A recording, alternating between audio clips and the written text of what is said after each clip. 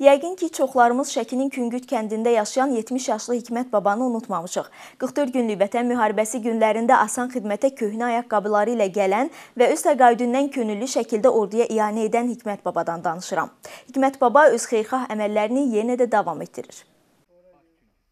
Ayaqqabısının yırtıq olmasına baxmayaraq əlindəki son pulunu orduya iyanə edən Hikmət baba sadəliyi və yardımsevərliyi ilə hamının qəhrəmanına çevrilib. 2 il keçməsinə baxmayaraq hələ də onun bu xeyirxah əməlindən qürurla danışılır.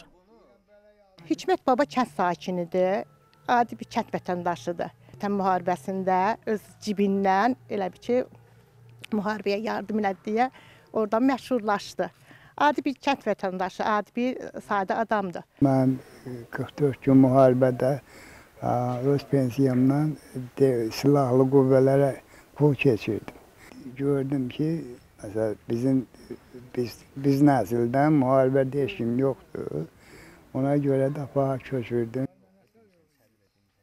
Bir xeyirxah əməli ilə milyonların qəlbinə yol tapan Hikmət baba yardımsevərliyi ilə yenidən gündəmə gəlib. Belə ki, yaşadığı Başküngüt kəndində yerləşən dünyəvi şairimiz Nizami Gəncəvinin heykəlini restavrasiya etdirməyi planlaşdırır. Bunun üçün danışıqlar aparan və hələlik heykəlin ətrafını təmir etdirən Hikmət baba indi heykəli əvvəlki görkəminə qaytaracaq mütəxəssis axtarışındadır.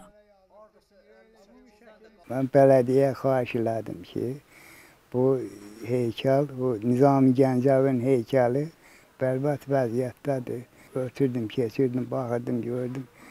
Hər yer dağılır. Öz vəsaitimdən tünkə də olsa mən bunu təmir elədim. Mənim, mənim gücüm çatandan heç yerdə, heç yanda heç bir şeyi əsirgəmərəm. Başardığım qədər nələrsə eləyərəm. Poçta gəlmişdi, pul salmağa gəlmişdi. Gələndə heykəlin yanında gəzdi, dolandı. Bu heykəl çox bərbad haldadır. Bunu təmirləmək lazımdır. 60 ildən çoxdur da. Düzdür, bir iki dəfə kolxoz tərəfindən bərpa olundu, amma yağışın, suyun, selin nəticəsində dağıldı, töküldü. Hikmət babanın köməkliyi ilə gətirdilər, düzdülər, qoşdular, təmir elədilər. Biz də öz növbəmizdə Hikmət babaya bitmək tükənmək bilməyən arzularını, xeyirxah əməllərini reallaşdırmaq üçün sağlam ömür arzuluyuruq. Gülgəz Mustafayeva, Aytəkin Şükürzadə, İbrahim Yunusov, Şəki.